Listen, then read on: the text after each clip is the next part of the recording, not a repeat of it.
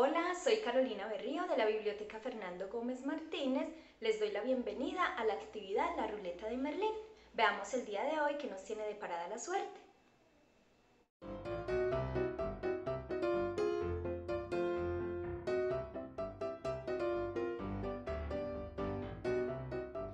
Willy el Tímido de Anthony Brown el mago Merlín ha decidido que el día de hoy vamos a leer Willy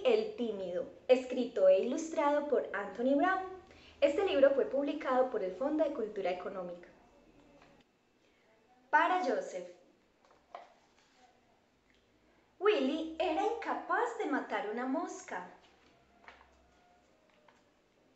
Cuando salía de paseo, Willy tenía buen cuidado de no pisar a los insectos pequeños.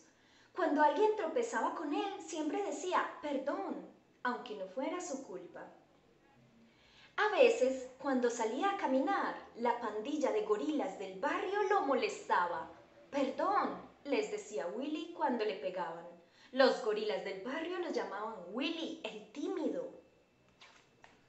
Willy odiaba ese nombre, Willy el tímido.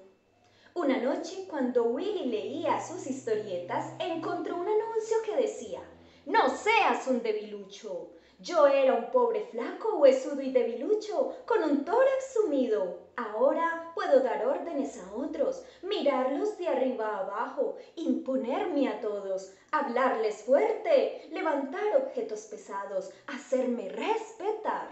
¿Quieres tener brazos con músculos fuertes? piernas que nunca se cansan, un tórax enorme, un extenso guardarropa, una personalidad magnética?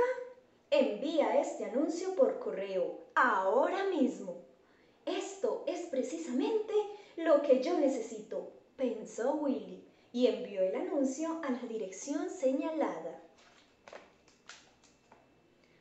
Todas las mañanas salía corriendo a la puerta para encontrar al cartero. Ay, perdón, decía Willy cuando el cartero no le traía nada. Un día llegó un paquete.